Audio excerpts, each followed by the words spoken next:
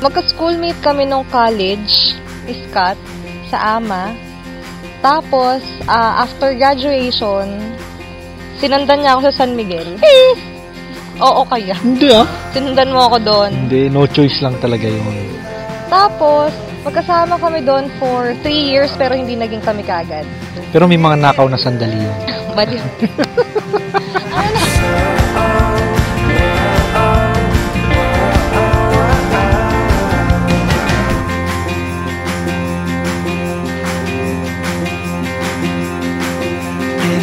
Hindi siya nanligaw. Kasi, Wag- kasi kapal. patay na patay siya sa akin noon. Tanga, ikaw yung may crush sa akin. Eh ba, hindi kita niligawan, sinagot mo ako. Eh kasi torpe ka.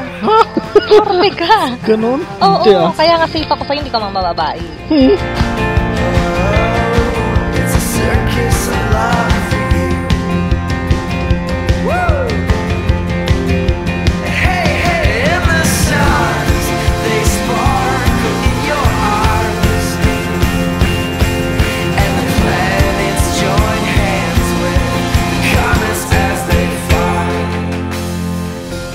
Ko siya gusto talaga. Kasi puro video games, nabobore ako, tapos alam ko ang gusto niya ako, hindi ako na-interested na. Tapos, habang tumatanda, mas maganda pala yung ganon. Na mas mahal ka.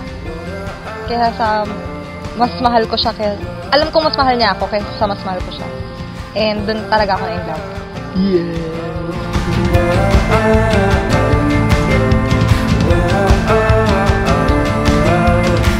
kamay at paa. Yan talagang unang hinahanap ko sa babae. Hindi talaga mukha, guys, no?